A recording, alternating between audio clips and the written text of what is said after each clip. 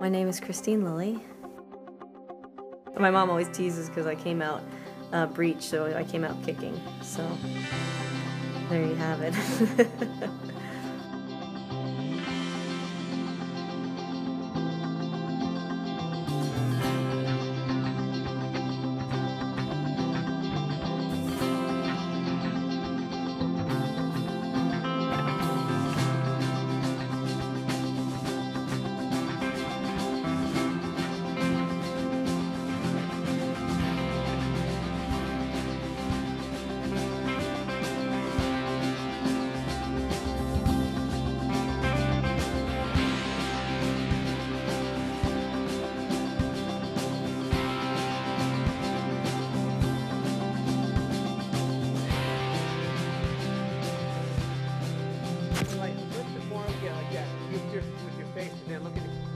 I always wanted to have a family.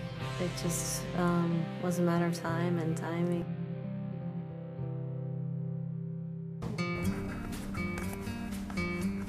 So I told my family, I'm not going to be, you know, playing the Olympics. So they, my mom kind of looked at me and I was like, because we're going to have a baby. And then she started to cry and all that comes with that. As a baby, I was tiny, I was six pounds, four ounces. My husband was about nine pounds.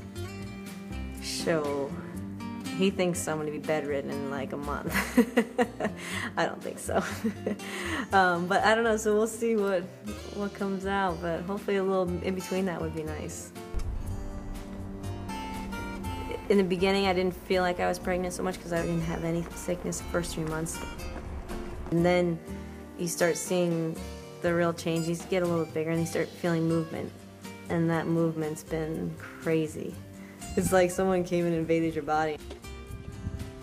But it's been so neat, and I think, I mean, every woman that's been pregnant can understand this, but trying to explain to someone that hasn't, or even to my husband, like, he's just like, I, I just don't get it. you know, they don't, you don't get it. And now you understand how moms have that connection with their child, or that nurturing and immediate connection because you've, you've had this child in your, in, inside you.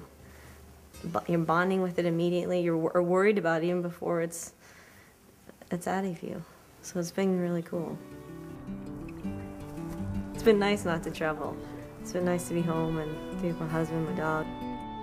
My mom will come up for the birth because this is my first, and advice will follow. we don't know the sex. Uh, my brother, they found out on all theirs, so they're like, "Are you kidding me? You're not gonna find out."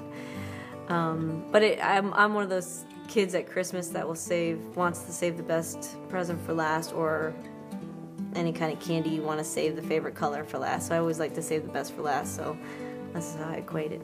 You know, save the surprise for the end.